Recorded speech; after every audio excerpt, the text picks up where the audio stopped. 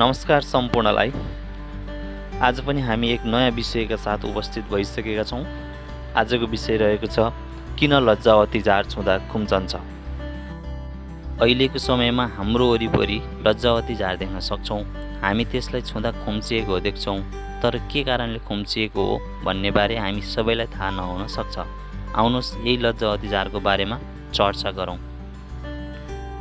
लज्जावती झार अर्थात् बुहारी झारलाई अङ्ग्रेजीमा टच मी नट पनि भनिन्छ। यसलाई ठाउँअनुसार विभिन्न नामले चिनिन्छ लज्जेजार लज्जे काँडा आदि। यसको वैज्ञानिक नाम मिमोसा प्युडिका हो। यसलाई औषधि उपचारमा पनि प्रयोग गर्न सकिन्छ। तर आज हामी यसको प्रयोगको बारेमा चर्चा गर्दैनौँ।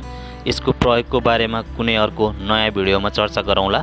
आज किन लज्जावती झार छुँदा खुम्चन्छ भन्ने जानकारी लिएर आएका छौँ। लज्जावती झार खुम्चने कारण चाहिँ यस्तो छ। लज्जावतीको पातमुनि पत्राधार पल्भिनस भन्ने विशेष प्रकारको कोषहरूको समूह हुन्छ। लज्जावती झारलाई छुँदा यिनै पल्भिनसमा विद्युत सङ्केत अर्थात् इलेक्ट्रिकल इम्पल्सेस सञ्चार हुन्छ जसबाट पल्भिनसमा रासायनिक परिवर्तन हुन गई पानीको चापमा असर पर्न जान्छ।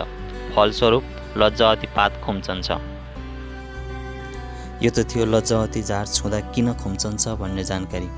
आजको भिडियो कस्तो लाग्यो? मन परेमा लाइक कमेन्ट र सेयर गर्न नबिर्सिनुहोला र च्यानलमा पहिलोपटक हुनुहुन्छ भने च्यानललाई सब्सक्राइब गर्न पनि नबिर्सिनुहोला।